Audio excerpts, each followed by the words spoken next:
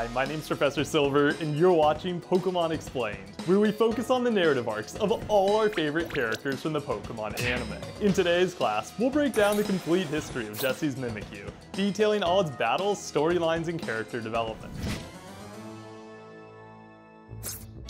Jessie met Mimikyu in loading the Dex while searching for a replacement to her Gourgeist, who she had left behind at Team Rocket headquarters. Though Mimikyu's sudden appearance and snappy necks startled Jessie and James, it absolutely terrified Wobbuffet and Meow. Meowth found Mimikyu's speech so unsettling that it refused to translate what it said. Despite Meowth's warning, Jessie found Mimikyu rather cute and requested Meowth help her catch it. After missing Fury Swipes and getting harshly criticized, Meowth made the grave error of trying to remove Mimikyu's disguise. Mimikyu's true form was so frightening that it caused Meowth to pass out and embark on a near-death experience. According to the Pokedex entry from Pokemon Sun, a scholar who once looked underneath Mimikyu's disguise and witnessed its true form got overwhelmed with terror and died of shock. After Meowth woke from his nightmare, Team Rocket escaped into the bushes to hide from Ash and his classmates. Intending to capture Mimikyu, Ash had Pikachu weaken it with Iron Tail. Mimikyu resisted as its disguise ability protected it from one attack per battle, and followed up by pummeling Pikachu with Play Rough, walloping it with Shadow Claw, and deflecting Electro Ball with Wood Hammer. Before the battle continued, Team Rocket laid claim to Mimikyu and sent Meowth to its aid. After defending Meowth, Mimikyu accepted Team Rocket as its allies as it held a deep-seated hatred for the Pikachu species. Right as the battle was about to resume, Bewear kidnapped Jessie and James, forcing Meowth and Mimikyu to retreat so they could ensure their allies' safety. Back at Bewear's cave, Mimikyu resisted several Pokeballs until finally succumbing to a Luxury Ball Jessie stole from James. Since a Luxury Ball causes Pokemon to grow friendlier after being captured, it helped tremendously in acclimating Mimikyu to its new life with Jessie. During its first adventure as an official member of Team Rocket, Mimikyu fired Shadow Ball at Pikachu, withstood Iron Tail with Disguise, attacked with Play Rough, and nearly won with Shadow Claw, but got knocked off course by Rowlet's Leafage. Though Jessie full-heartedly supported Mimikyu's crusade against Pikachu, it often frustrated her by releasing itself from its Pokeball and refusing her orders. Much like with Rowlet, Mimikyu's obsession with Pikachu often left it vulnerable to other Pokemon and their attacks. Notable examples include having Shadow Ball deflected by Poplio's Water Balloon, getting Zing Zapped by Dedenne, getting frozen by Vulpix's Powder Snow, and getting blasted by Kiawe's Turtonator. Mimikyu made an exception when an Alolan Dugtrio interrupted its battle with Pikachu, but it got stuck in tangling hair, pounded by Ironhead, and blasted off by Tri-Attack. Much of Mimikyu's obsessive hatred towards Pikachu stemmed from its own unhappiness with its physical appearance. Unlike most Mimikyu, who wore a costume to appear less creepy and make more friends, Mimikyu dressed like Pikachu out of pure resentment. In The Sun, The Scare, The Secret Lair, Mimikyu went all out on Pikachu and earned a definitive victory, but got hauled away by Bewear before Team Rocket could steal Pikachu. As the series progressed, Bewear often interrupted Mimikyu and Pikachu's battles out of concern for the former's safety. Even though Mimikyu's hatred for Pikachu often got the best of it, Jessie never stopped loving it, even when Mimikyu got her disqualified from a pancake race, went overboard during a baseball match, and accidentally ruined her various schemes. Her devotion to Mimikyu was never more clear than in Mimikyu Unmasked, when Mimikyu's costume tore open and Jessie worked tirelessly to remedy the situation. Jessie offered Mimikyu several replacements, including a cute ribbon, a beach bucket, a frilly purse, and a retro straw hat, but it hated them all and settled on a brown paper bag, much like Charlie Brown. Realizing how much Mimikyu's old costume meant to it, and how much it wanted to be loved like Pikachu, I love Pikachu. I love Pikachu too. Jessie kindly fixed its disguise. After a murder of Murkrow stole the repaired costume, Jessie risked her life to get it back. Having probably never experienced such kindness before, Mimikyu's eyes swelled with tears of gratitude.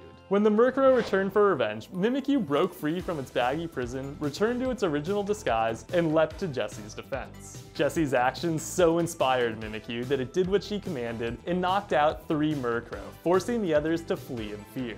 Thereafter, Mimikyu and Jessie seemed to share an infinitely stronger bond. Without any issues, Mimikyu happily competed alongside Jessie in a Pokemon sled jump competition, helped her make honey donuts, and even defended her food truck from Rowlet. Beyond bonding, Mimikyu also helped Jessie secure a Darkinium Z crystal by defeating a Totem Alolan Raticate. Though Raticate tanked Shadow Ball and slammed it away, Mimikyu refused to back down and pummeled it with Wood Hammer and Play Rough. Mimikyu fought so valiantly that even Meowth gave it props. Meowth's praise showed substantial progress in their relationship, as Mimikyu's mere presence had previously petrified Meowth to such an extent that he once compared Mimikyu to a real-life horror movie.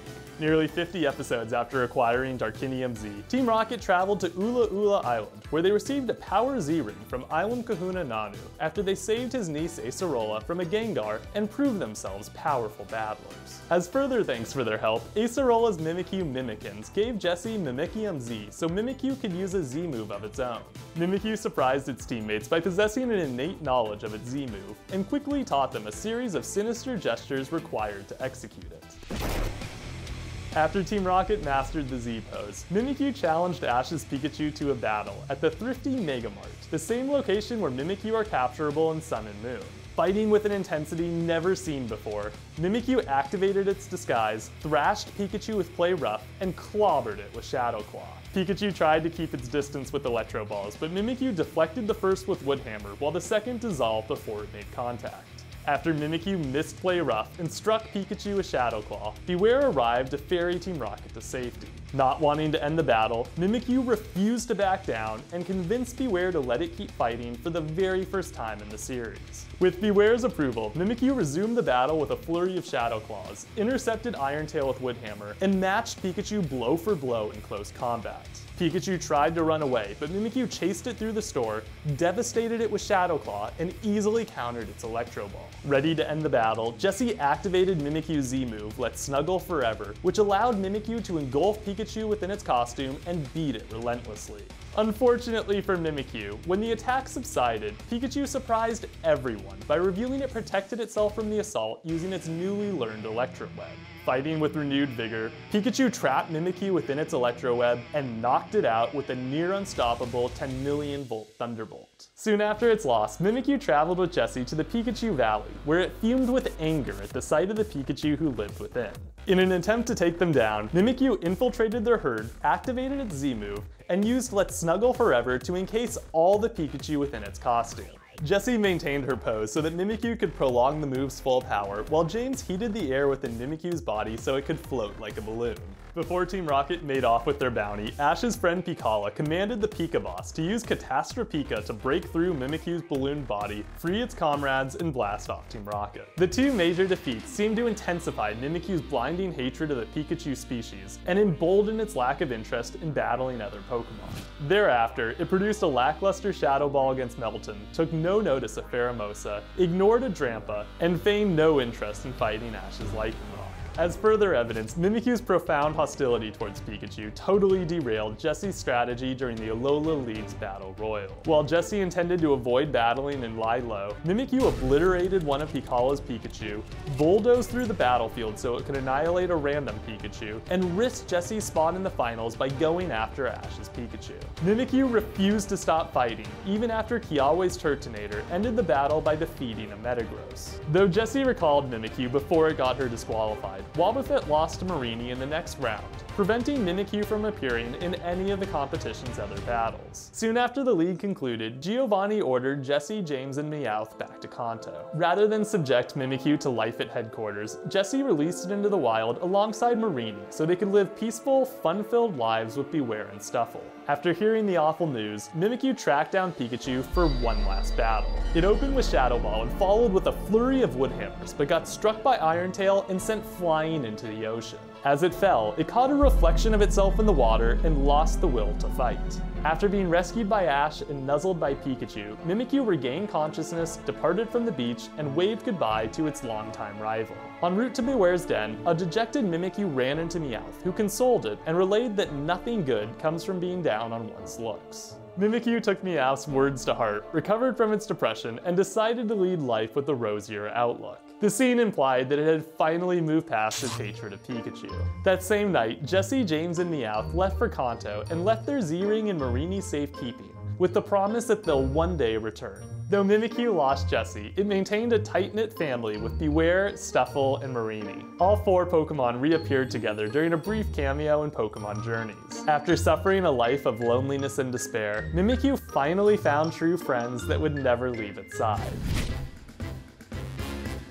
Mimikyu won against Meowth, Ash's Pikachu, and Alolan Totem Raticate, three Wild Murkrow, Pikala's Pikachu Bolt, and a Pikachu belonging to a random contestant in the Battle Royal. Mimikyu lost to an Alolan Dugtrio and Ash's Pikachu. Over the course of the series, Mimikyu used Shadow Ball, Woodhammer, Shadow Claw, Play Rough, and the Z move, Let's Snuggle Forever. According to a 2020 poll by the Pokemon Company, Mimikyu is currently the third most popular Pokemon in the world, behind only Greninja and Lucario. Given that Mimikyu is more popular than Pikachu and represents massive marketing potential, it wouldn't surprise me if it soon rejoined Jessie's team. Given that Mimikyu is no longer driven by hatred and has finally come to terms with its appearance, it'll be fascinating to see what direction the writers take its character. And with that, class is adjourned. I'll be back next week to cover a different character from the anime.